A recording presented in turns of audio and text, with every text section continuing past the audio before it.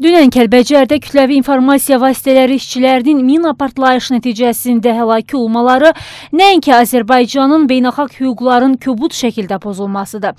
Birləşmiş Millətlər Təşkilatının Təhlükəsizlik Şurasının 1738 sayılı qətnaməsində münaqişə bölgələrində fəaliyyət göstərən jurnalistlərin və media mütəxəssislərinin təhlükəsizliyinin təmin edilməsi vacib xət kimi qeyd olunur. Jurnalistlər, media nümayəndələri və əlaqəli işçilər də daxil olmaqla beynəlxalq beynəlxalq hüquqa əsasən silahlı qarşıdurmada iştirak edən bütün tərəflərin öhdəliklərinə tam əməl etmələri tələb olunur. Silahlı münaqişə bölgələrində təhlükəli peşə fəaliyyətini yerinə yetirən jurnalistlər, media mütəxəssisləri və əlaqəli işçi heyəti mülki şəxs sayılır, onların fəaliyyətinə hörmət edilməli və qorunmalıdır. Amma Ermənistan tərəfi öz ənənələrinə sadiq qalaraq yenə də beynəlxalq hüquq və normaları pozmaqda davam edir.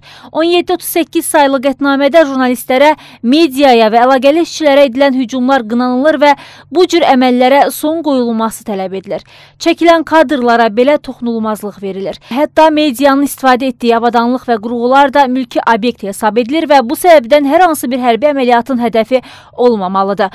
Beynəlxalq hüquq normalarına görə mülki şəxslərin qəsdən hədəfə alınması cinayət tərkibi yaradır. Ermənistan tərəfi 2017-ci ildə Birləşmiş Millətlər Təşkilatının Təhlükəsizlik Şurasının üzv dövlətləri qarşısında mina minalarla bağlı öhdəliyi ehtiva edən 2365 nömrəli qətnaməni pozaraq beynəlxalq hüquq və normaları ayaqlar altına atır. Ən dəhşətlisi də odur ki, müxtəlif beynəlxalq qurumlar və jurnalist təşkilatları quru başsağlığı məzmunlu açıqlamalarla kifayətlənirlər. Halbuki onlar Ermənistana dayan deyəcək konkret müraciətlər etməli, məqsəd yönlü şəkildə mülki insanların öldürülməsi siyasətinə tutarlı cavablar verməlidirlər. Azərbaycan tərəfi isə mina məsələsi ilə bağlı artıq dövlət ittihamı səviyyəsində Avropa İnsan Hüquqları Məhkəməsi qarşısında məsələ qaldırıb.